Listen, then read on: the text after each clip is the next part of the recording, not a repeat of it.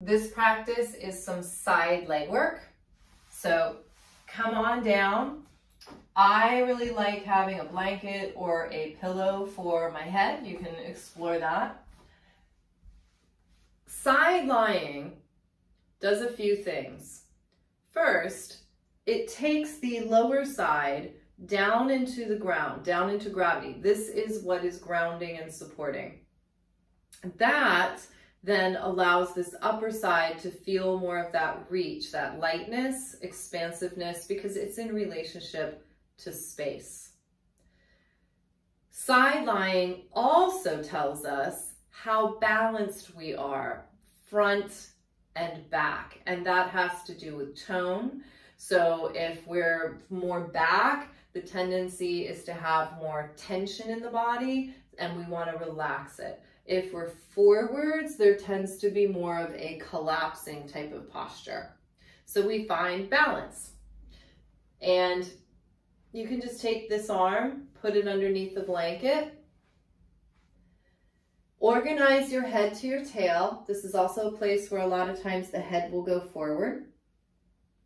So just head to tail, front to back, and then Side lying also brings our limbs to our midline. So it's helping us get organized, which then helps us integrate, which then helps us find more coordination. This hand can go right in the front. Let's start by taking the top leg out and flexing the foot. You could point the foot, you can point and flex the foot. I'm choosing to flex the foot so that there is a sensation coming up through the leg, up through the center of the body. So it just helps us organize a little bit more. First is lift and lower. This is very small so that we're just lifting from the hip. You can even put your hand here and feel how that's moving. You could also put your hand here to hopefully feel how you're not moving. So a lot of times when we do side leg work, it can go into the back. The low back will do the work. And we really want it in that side hip. So allowing your body to soften into the support of the ground here. So this side can get light. One more and then returning down. Next, we're gonna do circles and I'm going to do the flexed foot again, but you can always point your foot if you like. So we're going to circle around and I like to say the best part of the circle is the up and the back.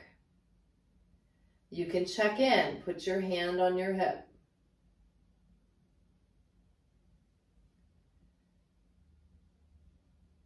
Fabulous.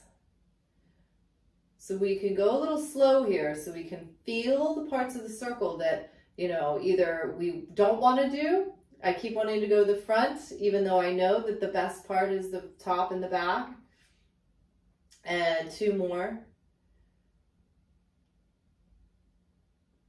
Last one, and your reward for doing that so beautifully is to go the other way. I know, I need to work on my reward system. Up and back. It's a problem with Pilates teachers. Up and back. Mm -hmm. So this is quite quiet and it's quite relaxed. Not collapsed. That's very different. Yielding is different than collapsing. Last one. And then, oh, let that leg come down. We'll bend the legs in, put your hand in front, and you can roll into that hand. Roll and then push to come up. And we can go to the other side. So we can move the blanket or you can simply just roll to the other side. We'll take a moment when we get down there to really know where we are. So, blanket under the head if you're using it. Your arm could be straight, your arm can be bent, and then checking in with the head to the tail. And again, one side might feel really different than the other. So take a minute. You can look at yourself, try to feel yourself. Do I feel straight? Hips are stacked, shoulders stacked. Your top arm can come in front. It can help you with a little bit of feedback and support. Bottom side is intentionally softening and moving towards the ground so that your whole upper side can feel quite light and expansive because we got to lift this leg. we don't want it to feel like it weighs 100 pounds. So taking that leg out and it's at hip height, opening up the front of the hip, and you're just going to lift and lower. So this is not a big movement at all. Just a little lift and lower. There's a reach through the leg, not a hard reach, a gentle reach. So you can feel the connection from your foot all the way through your knee to your hip. Beautiful. Let's do two more. If I'm going to be honest, I forgot to count. This kind of feels like eight. And then just lower down, take a little rest. Moving into circles, lengthening the leg out, circling around, and what's the best part of the circle? Correct, the, uh, the up in the back. Up in the back. That's usually where we don't love to go. Now this is a great place to use your hand just to check in that your back isn't doing the work. If your back was doing the work, you'd roll around. You'd end up leaning backwards. So we just keep these hips one right over the other and then reversing this. Gently reaching through the bottom of the foot, reaching back and up